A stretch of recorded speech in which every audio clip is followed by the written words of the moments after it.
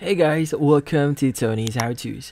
In this video, I will show you how to get better ping in Roblox. But before we start, hurry up and check out our latest offer under this video. So let's get started. Now, the first thing that you have to consider here when you want to improve your ping in Roblox is you have to consider your internet connection.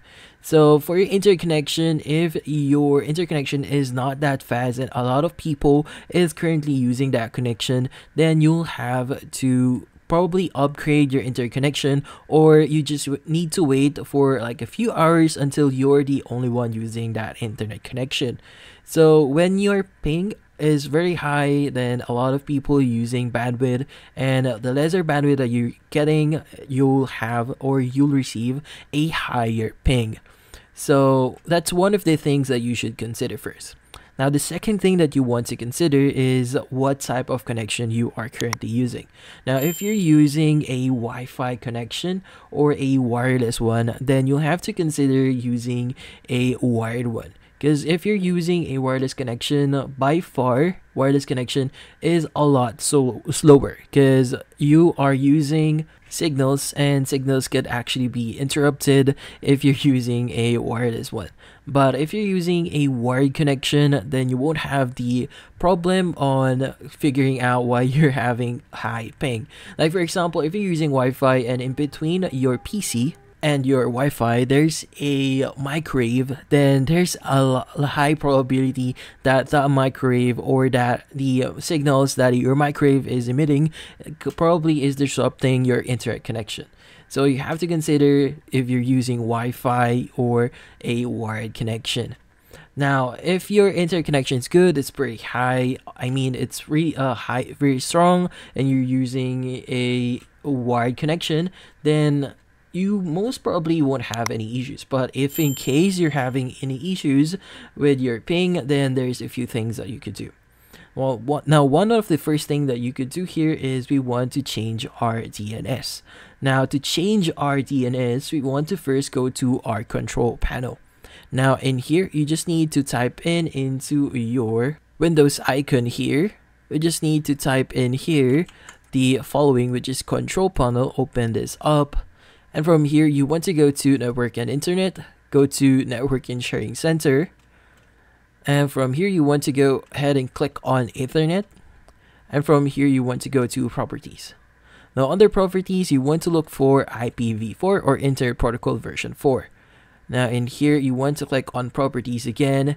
And from here, you want to change your DNS. So by default, it's going to say Uh, or it's going to be set to obtain the DNS server address automatically. Now in this case, since we want to improve our ping, we want to change this to a another one. So right now I'm using the Google DNS which is 8888 and the alternate DNS server is 8844. So go ahead and enter this one and from here just click on OK once you've entered the, the servers here. Click on close, click on close again and close this one. Now the next thing we want to do here is we want to flush our DNS.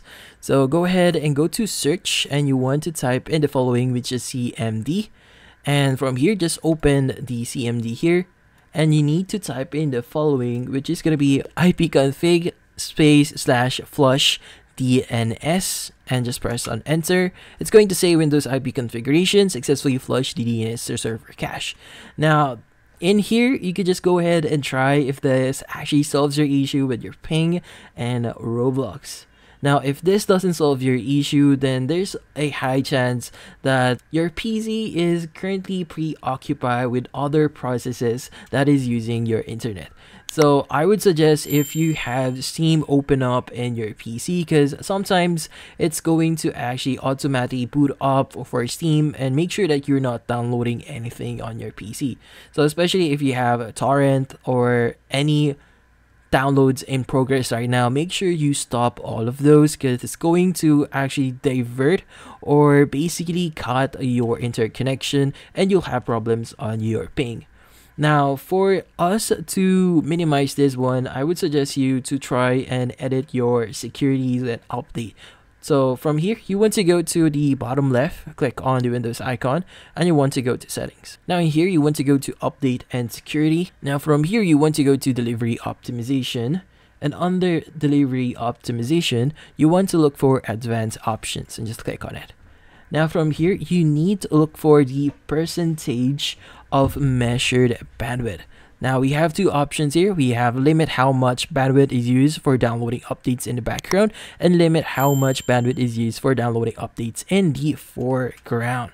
Now, I would suggest you to reduce the uh, download speed for this one. Like, for example, it's going to use 9% for background downloading updates, and for foreground downloading updates, it's going to be limited to 16%. So, it's going to limit the amount of bandwidth it's being consumed whenever there are updates on Windows. So this is one of the ways that you could do this. But yeah, going back, if you have ongoing progress on downloads, make sure that you turn off those downloads temporarily while you're while you are playing Roblox. But yeah, and that's about it. So thank you for watching. If you have any questions, feel free to ask in the comment section. If you enjoyed this video and found it helpful, you could use the link in the description to subscribe. See you in the next video.